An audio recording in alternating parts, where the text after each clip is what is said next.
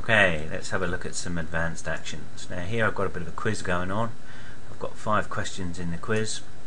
And this last slide here, I've got some text captions on. One says failed, one says fair, and one says excellent. Now, if you click on one of these, you notice that I've got them invisible. So I've de-clicked the visible box, if you like, so none of them are visible. And what this will mean is when the um, the script runs, the advanced action runs, it'll show these depending on how well you did in the questions. Okay, then you'll get your your proper score at the end. So let's go straight in and go project advanced actions. And uh, let's go to conditional actions because it's a condition and we'll give it a name. I'm just going to call this test score. That'll do. Um, these um, decisions here. I'm going to click and call one excellent. I'm going to call one fair. And I'm going to call one failed. Okay. Then double click in, in the if statement. And we want a variable here and all that does is it, this variable stores things so we want to have a look at the quiz and we want to look at quiz info total correct answers. So it's looking at the correct answers. And in this case, if it's equal to, and we want a literal score, if it's equal to 5, so that means it's got all alright, then in the actions we want it to select an action, so we want it to show something, and we want it to show the excellent dialog box or text caption, sorry. Okay, we can save that. Now, for the oh, what's it done here? It's it's got rid of it and it says failed. That one should be excellent.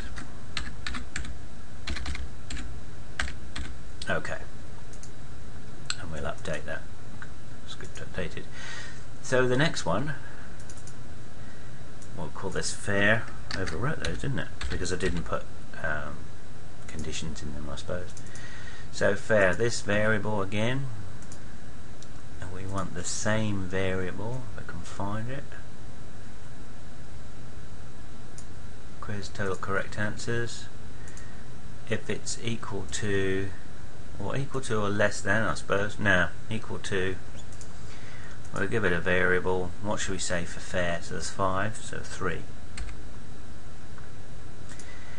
So if the correct answer is equal to 3, then we want it to show, where's the show? Show fair. And the next one will be failed. So I'm just going to failed, F-A-I-L-E-D, failed. Double click here want it as a variable.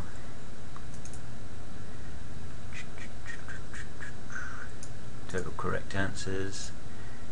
If it's less than literal if it's less than 3 then we can show failed Okay, now it should all turn green. We should be able to close that. Now, in the properties box here, we should scroll down and it should say sorry, you've got to click on the slide, not the not the text caption. So click on the slide and, and the action here on enter, it's got continue by default, but we want to go advanced actions and it's put our script in there already, let's test score. And to edit this script you can just double click on that and it'll open it up again. Okay, so let's test it. Let's press F4.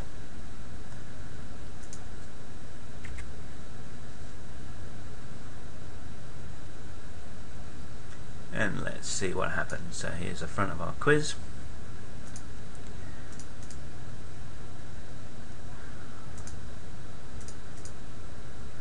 Going to whiz through these because you probably know the answers to most of this